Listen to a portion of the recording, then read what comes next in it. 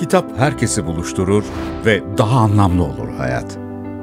200'den fazla yayın evi, yazar ve şair ile herkesin kendisinden bir şey bulduğu ve her kesime hitap eden Merzifon 5. Kitap Fuarı'nın ikinci günü de yoğun bir katılımla gerçekleşti.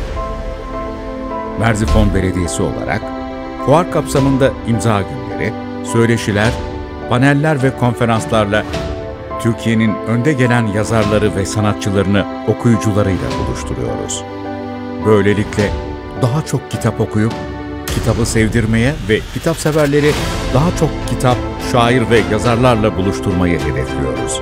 Ee, bu bölgede yapılan tek fuar. Başkanımıza çok teşekkür ediyorum Alp Bey'e. Ee, Sayın Belediye Başkanımıza çok teşekkür ederim. İstanbul'dan geliyorum, Çorum'dan.